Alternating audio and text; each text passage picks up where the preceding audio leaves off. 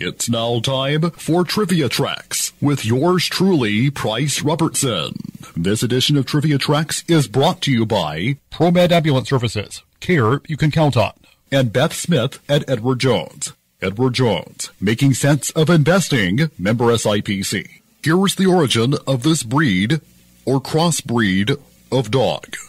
The Golden Doodle was first bred by Monica Dickens in 1969.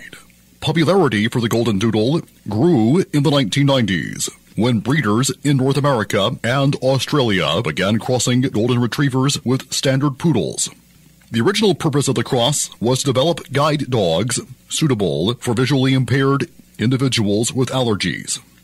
Poodles are considered to be hypoallergenic. Their coats do not shed, which reduces dander, a protein that sheds from the skin and causes allergies in humans.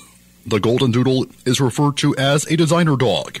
The Encyclopedia Britannica traces the term designer dog to the late 20th century, when breeders began to cross purebred poodles with other purebred breeds in hopes of obtaining a dog with a poodle's non-shedding coat, along with various desirable characteristics from other breeds. But there is no guarantee they will inherit the coat of the poodle.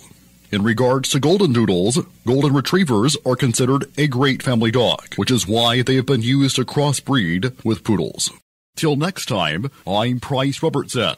Amazed by today's trivia? Then join me for Trivia Tracks weekdays at 645 on Everybody's Country Y95.